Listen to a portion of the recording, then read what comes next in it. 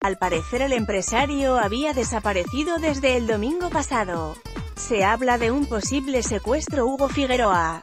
Foto, captura del Instagram de Hugo Figueroa.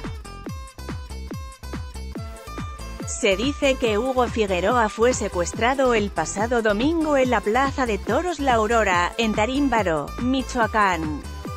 El empresario también es conocido por ser el sobrino político del fallecido cantante Joan Sebastián. Algunos medios mexicanos afirman que el cuerpo fue presuntamente encontrado sin vida en una carretera de Michoacán, en horas de la madrugada.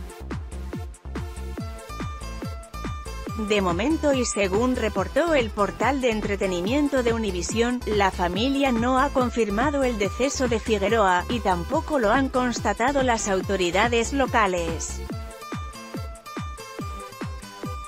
Dicho medio también narra que la Procuraduría General de Justicia de Michoacán estaba investigando el presunto secuestro del empresario, aunque la familia del mismo no había reportado su desaparición.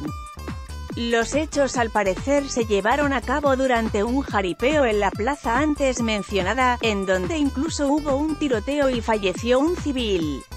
Punto. A continuación les compartimos la última entrevista de Hugo Figueroa con este grupo mediático, en una amena conversación con Rafael Cores, en donde habló de su gran pasión por el rancho La Misión y las bondades de un deporte como el jaripeo.